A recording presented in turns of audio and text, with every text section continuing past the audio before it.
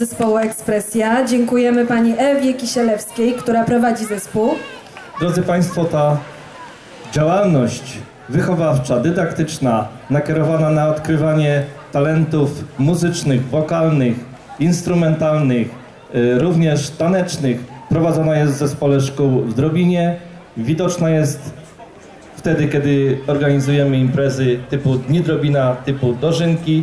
Widoczna jest szczególnie wtedy, kiedy te zespoły przywożą dyplomy, trofea, nagrody z różnych przeglądów i festiwali. I teraz również do pani dyrektor Bożeny Woźniak. Wiem, że tutaj gdzieś jest. Uśmiechamy się z podziękowaniem. Dziękujemy pani dyrektor za to, że w szkole, w zespole szkół w Drobinie taka fajna działalność jest prowadzona. A dziś zobaczymy jednego wokalistę i pięć wokalistek. Troje z nich wystąpi za chwilę, a pozostali wieczorem o godzinie 19.30. Około 19.30 będzie właśnie kolejna grupa y, przedstawicieli zespołu szkół w Drobinie. Teraz pierwsza, y, jedna z najmłodszych wokalistek, Julia Mikołajczyk. Julia jest uczennicą szkoły podstawowej w Drobinie. Na gitarze uczy się grać w ognisku muzycznym Amabil w Drobinie oczywiście.